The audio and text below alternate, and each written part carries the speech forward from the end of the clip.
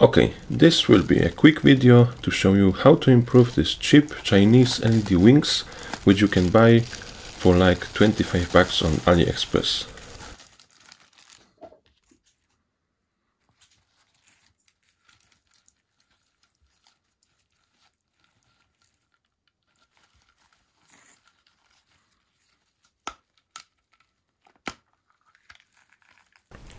They work on three AA batteries and they light up when you press this little button and when you press it again they start to blink.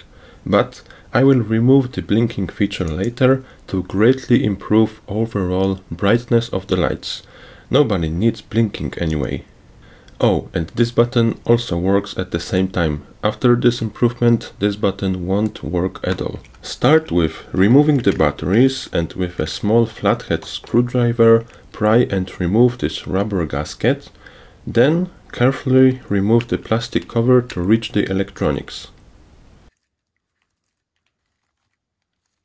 Now, here's the positive side of the battery. It goes straight to LEDs and here's the negative side of the battery. This is the negative lead from LEDs.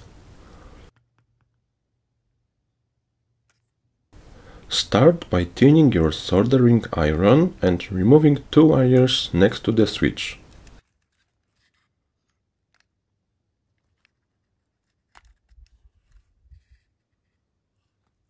You can pull the wires to have more freedom with soldering. Separate the wires a little bit and solder one wire to the negative side from the battery. It completely doesn't matter which one you solder here. And it should look like this. Now, to desolder the negative leads from the LEDs, you can pry them with the screwdriver.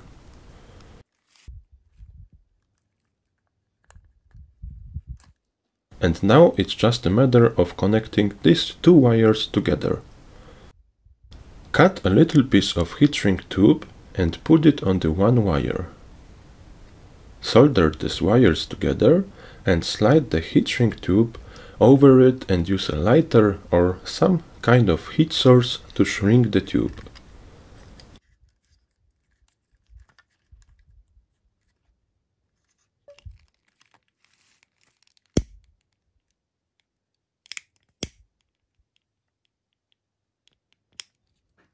Pull the excess wires back and you are done here.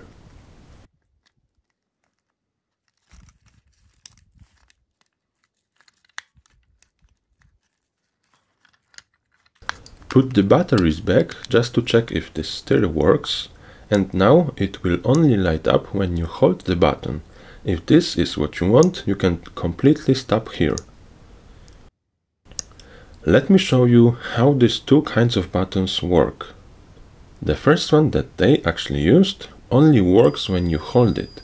It's okay when they used a little chip, but since we eliminate it, now it doesn't sustain the power. The second one that we want to use will complete the circuit when we click it and it stay connected until you press it again. This is the button that we want to use in this case. Okay, so start with removing the protective heat shrink tube from the old switch.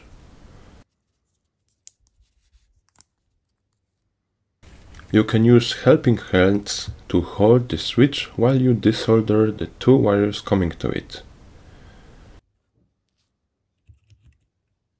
You don't need this switch anymore.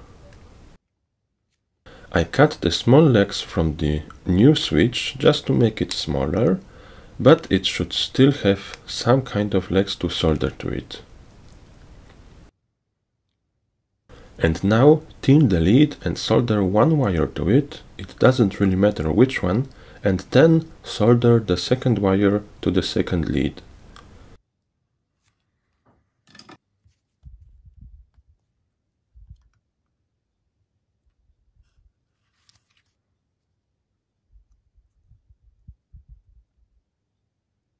It should look like this.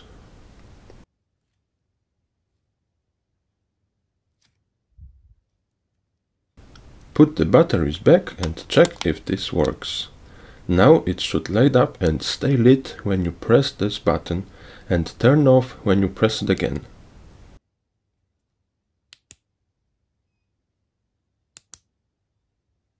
Measure and cut a little piece of heat shrink tube. You can use white heat shrink in this case, just to make it blend a little more with the wings while you perform with it. I didn't have a white heat shrink tube big enough to fit the switch, but it's fine with black one though.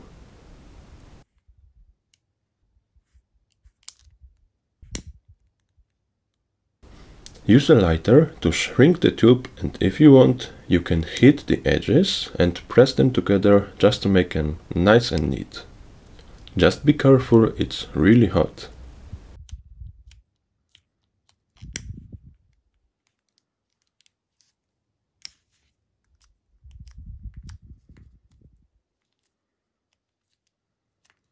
With a sharp X-Acto knife, cut the circle around the button Otherwise it won't work. The tube will prevent the button from coming back.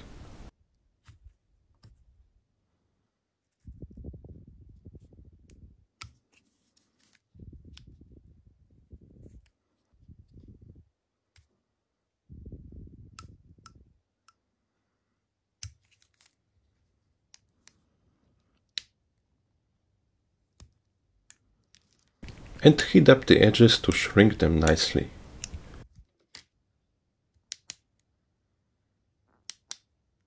To finish the job, place the plastic part back until it snaps in place.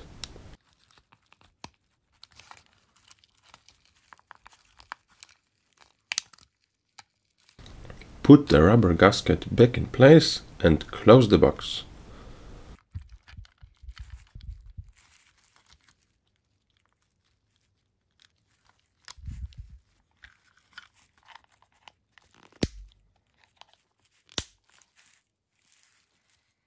The lights will be much brighter. It's really hard to pick it up with a camera, but in person they are twice as bright.